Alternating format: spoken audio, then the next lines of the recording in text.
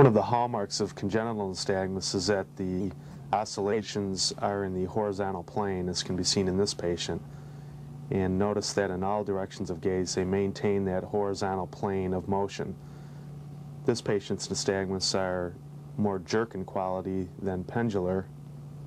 However, sophisticated eye movement recordings show that most congenital nystagmus are a combination of jerk and pendular.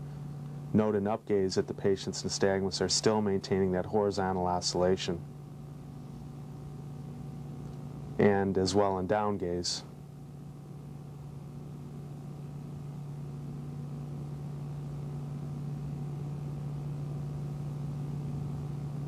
In this patient's nystagmus, the oscillations are more pendular than jerk. And again, I'd like you to note that they maintain a horizontal plane. They're variable and that their frequency of oscillation can change somewhat in different positions of gaze, for example, here in right lateral gaze. And another hallmark of congenital nystagmus is a null point, or position of gaze where the oscillations are at a minimum.